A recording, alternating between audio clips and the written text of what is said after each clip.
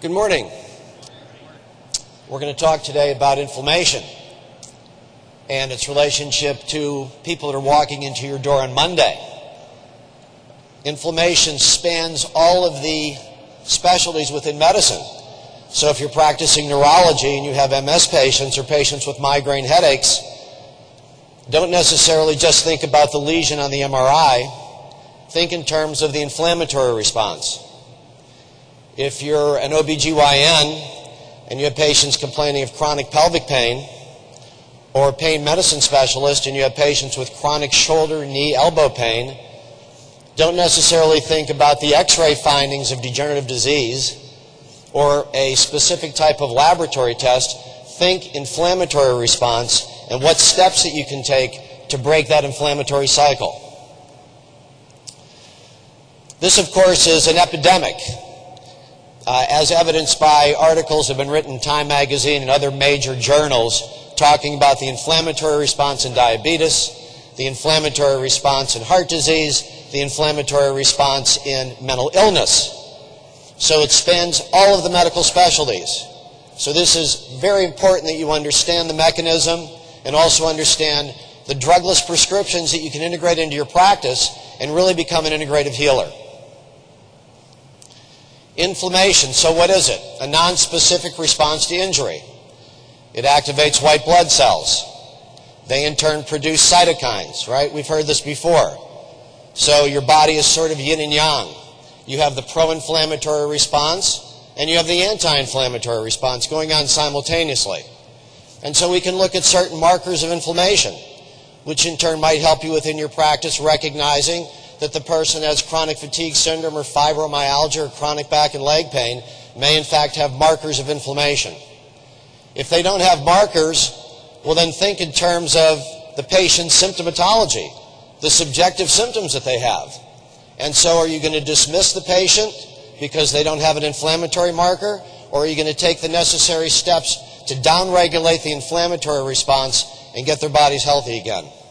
So what are some of these markers? C-reactive protein, interleukin 6, 10, and 18, MCP1, and TNF-alpha. These are some of the things that we're hearing about, some of the things that some people test for, but there's a definite link between the inflammatory markers and disease.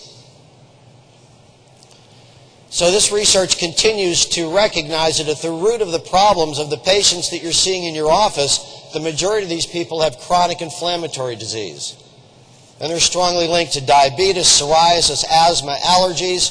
So instead of just chasing them with a medication, think in terms of what steps you can take to start the process of downregulating their inflammation and in turn decreasing their symptomatology and starting the process of them getting well.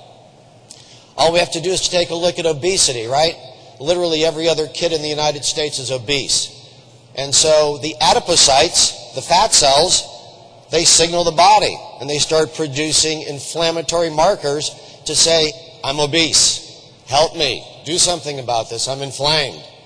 And so what most people do is have another McDonald's, drink a Coca-Cola, and have a scoop of ice cream. We need to think in terms of how we can downregulate this process ocular inflammation?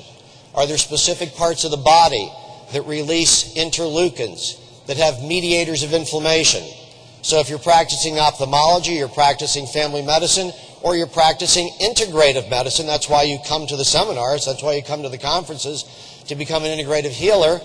Well, we know that there's changes that take place in the conjunctiva, cornea, anterior uvea that's telling us that there's an inflammatory response. The patient might be complaining of blurred vision, diminished vision, cataract formation, macular degeneration, and we know that there's mediators like calcitonin gene-related peptide and prostaglandins, that the body is releasing cytokines and inflammatory markers that are telling us, yeah, there's stuff going on in your eye, but is it just going on in the eye or is it going on in the entire body?